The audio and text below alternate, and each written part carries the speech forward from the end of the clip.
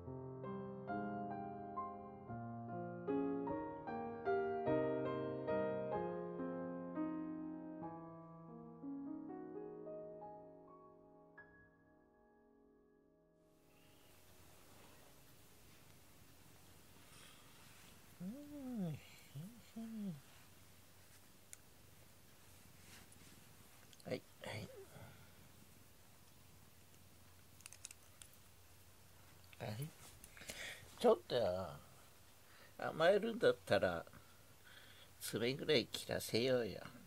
はいはいはいはいジャン君。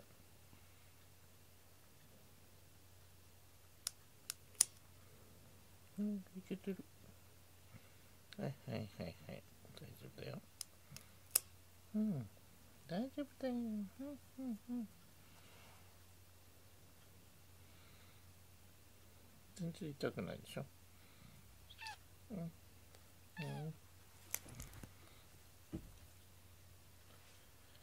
ジャン君2本半しか切れてないですよでもちょっとずつねここ来ますかあれでジャン君これでほら持ってないよ。んで考えてます。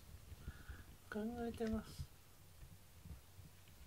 また来たら爪切ろうね。今ちょっと大きめの地震がありました。0時20分えっ、とテレビはまだ何も言っていませんがこの界隈だけたまにねこの界隈だけ地震ってあるんだよね。ジャン君ポンちゃんは今キョロキョロしながらビクビクえどうして？ってなっています、えー暖房器具を消して何かに何かあったら、えーということで備えていますが今1分経ったところでとりあえずは落ち着くかな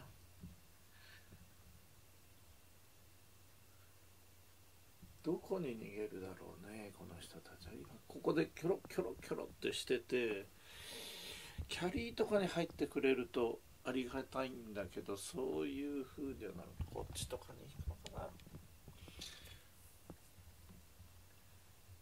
はいジャン君怖かったね。